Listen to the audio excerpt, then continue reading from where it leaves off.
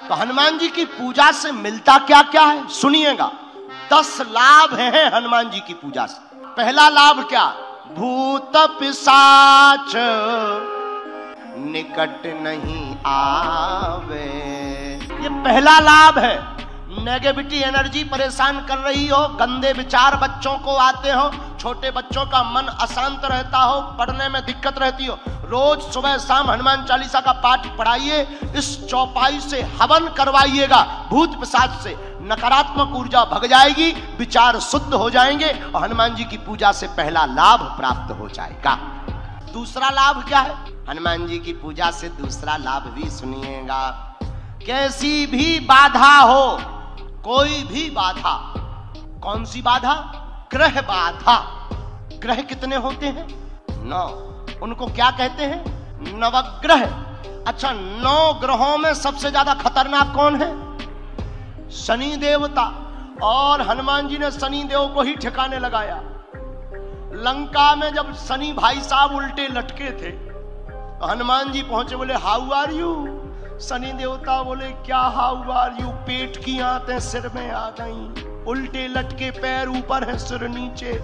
हनुमान जी बोले, ये हाल क्यों है? बोले, पूछो मत रावण के कारण। हनुमान जी बोले तो करें क्या? सनी देव बोले, हमें सीधा भर कर दो। छुड़ाना मत, सीधा कर दो। हनुमान जी बोले, no no no no no.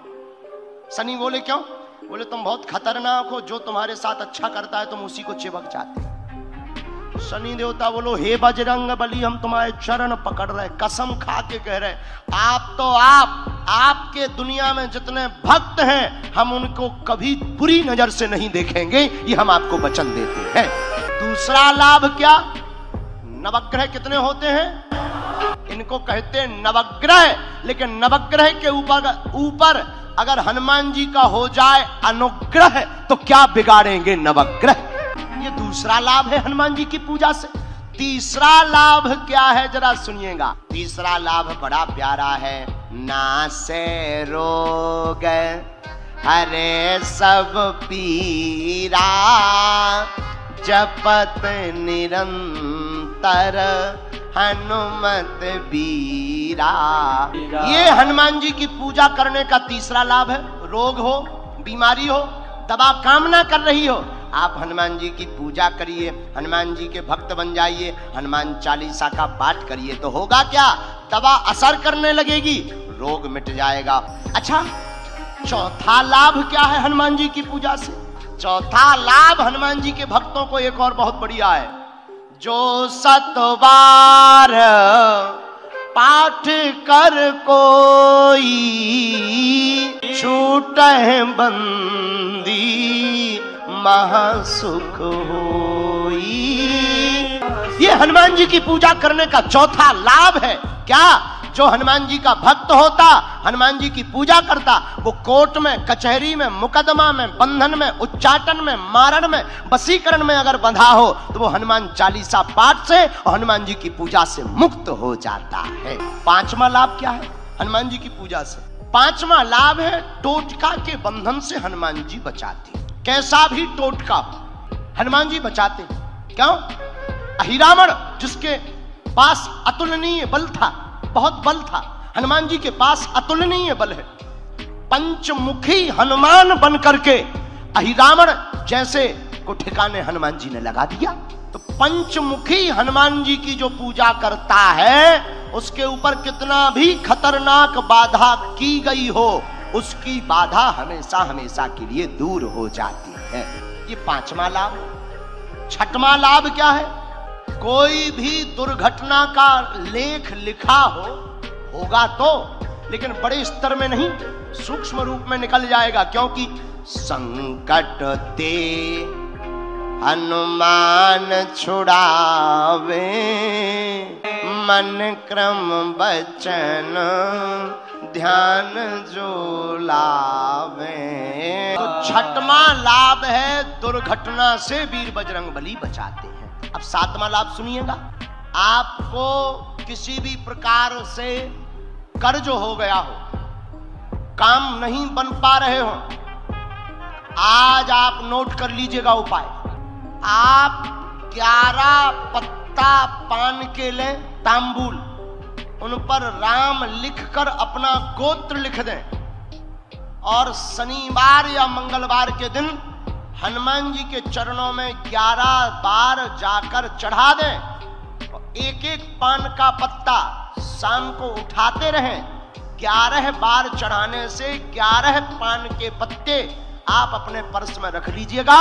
जहाँ जाएँगे, काम फतेह करके आ पाएँगे ये हनुमान जी के भक्ति से सातवां उपाय? लाभ है। आठवां लाभ क्या है हनुमान जी की भक्ति से? डिप्रेशन हो गया हो स्ट्रेस हो गया हो, दिमाग बड़ा भड़भड़ाया रहता हो, हमारी हनुमान जी की पूजा करिए। क्यों? हनुमान जी कपी है और चंचल है और बानरों को देखकर स्वभाव बस हँसी छूट जाती। हाजी अनाजी हनुमान जी बंदर नहीं है। अरे बंदर हैं भी, फिर भी राम कथा के कारण ये सुंदर हैं। और हनुमान जी को देखकर अच्छे अच्छे टेंशन में टेंशन मुक्त वाले हो जाते हैं और टेंशन युक्त वाले टेंशन मुक्त हो जाते हैं। ये हनुमान जी की भक्ति से आठवां लाभ है। नौवा लाभ कौन सा है हनुमान जी की भक्ति से? नौवा लाभ है, ज्ञान और बुद्धि बढ़ती है। जिस बालक का दिमाग कमज़ोर हो, मंद बुद्धि हो हनुमान चालीसा का पाठ करिए अथवा करवाइए और उसको हनुमान जी के चरणों का जल प्रतिदिन पिलाइएगा। जय हनुमान ज्ञान गुण सागर जय कपी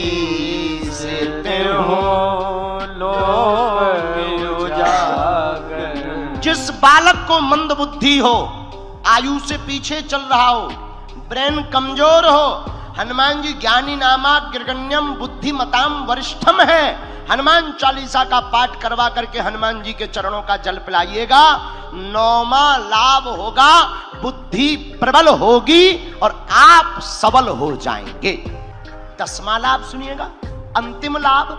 हनुमान जी की भक्ति से क्या है? आहा हा यश की प्राप्ति होती है और गुरु की कृपा होती है और जिसका गुरु बलवान होता है, चेला पहलवान होता है।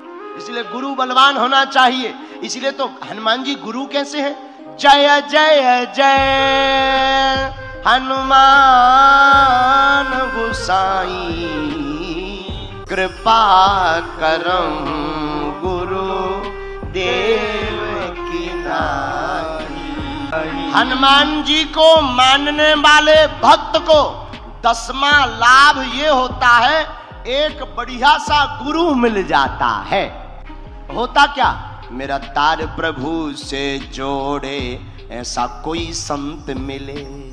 श्री हनुमान जी की पूजा करने का दसवां लाभ है, एक अच्छे सदगुरु की प्राप्ति हो जाती, और हनुमान जी ही गुरु रूप में प्राप्त हो जाती है। बोलो, सीताराम।